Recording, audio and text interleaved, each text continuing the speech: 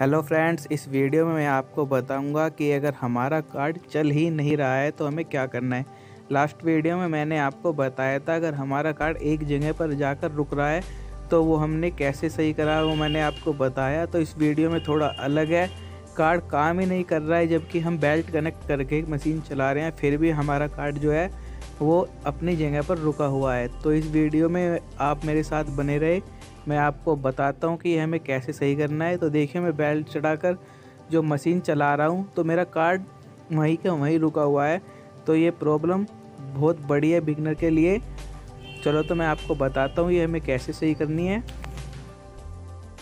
तो मैं अपने लास्ट कुछ वीडियो से एडिटिंग नहीं कर रहा हूँ वीडियो के अंदर, जिससे कि आपको क्लियरली समझ में आ सके कि हाँ कि प्रॉब्लम इस तरह की हमारी मशीन में हो तो हम कैसे सही करें?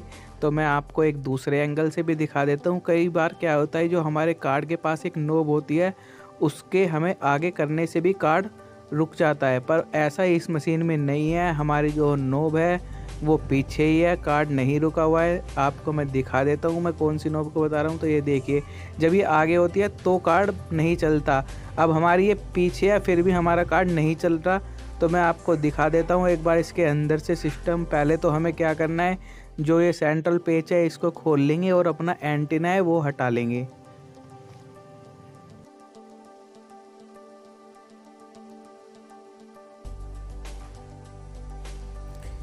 इसे खोलने के बाद हमें एंटीना हटा लेना है और जो हमारा ये कवर है, इसको पीछे की तरफ़ छोड़ देना है। कोई कार्ड वगैरह हमें खोलने की ज़रूरत नहीं है, इसे हटाने की ज़रूरत नहीं है।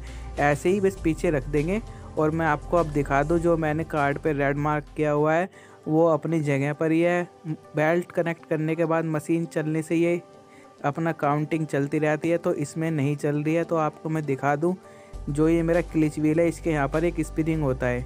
जो कि साइड में पड़ा हुआ है, आपको मैं दिखाऊँ, वो इस कट के अंदर लगा होता है, इन प्लेट के अंदर छोटे छोटे से कट बने हुए हैं, उसके अंदर वो डालना पड़ता है। तो ये देखिए, ये छोटे से कट की मैं बात कर रहा हूँ।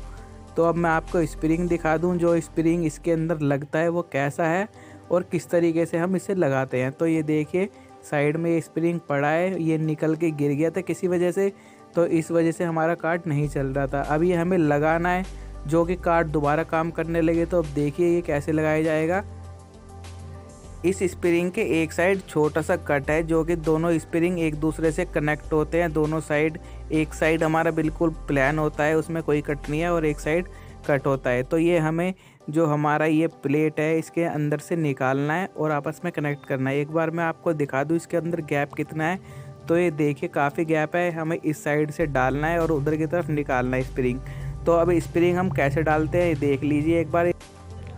तो मैं आपको जूम करके भी एक बार दिखा दूँ किस तरह कट है इसके अंदर। तो ये देखिए, साफ़ चमक रहा है, फिर भी मैं एक बार आपको ट्रांसफ़र टूल से दिखा देता हूँ कि किस तरह का कट है हमारे यहाँ पर। तो ये देखिए, बहुत ही बारीक सा कट है। कई बार ये नहीं चमकता है वीडियो के अंदर, पर कैमरा साफ़ दिखा रहा है। तो ये किस तरीके से कनेक्ट करना है आपको दिखा देता हूँ। तो इसे लगाना कोई इतना मुश्किल काम नहीं है कि हम नहीं लगा पाएँगे, बस हमें क्या करना है, इस प्लेट के नीचे से निकाल कर इसके जो दोनों कट हैं, उनको आपस में लॉक कर देना है। आपको मैं लॉक करके दिखा देता हूँ एक बार और देखिए। ये देखिए हमें इस तरीके से लॉक करना है और जो हमारे क्लिच व्हील के ऊपर ये प्लेट्स है छोटी छोटी इनके नीचे कट है, उनके ऊपर छोड़ देना है। ये उस कट के अंदर चले जाएँगे और अच्छे से कनेक्ट हो जाएँगे। फिर आपको एक बार मशीन चला के देख लेना है। कि हाँ हमारा कार्ड सही तरीके से वर्क कर रहा है या नहीं कर रहा है। तो यहाँ आप देखिए, ये बिल्कुल काउंटिंग के साथ चल रहा है, कहीं नहीं रुकेगा। तो आपको फिर इसका कवर लगा लेना है। कवर जिस तरीके से हमने खोला था, उसी तरीके से लगा लेना है।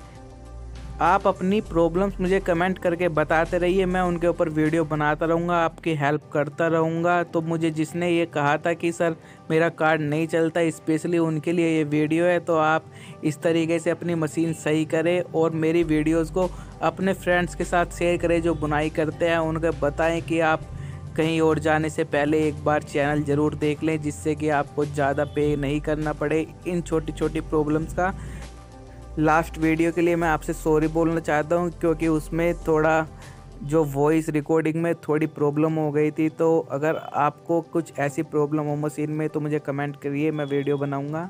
Thank you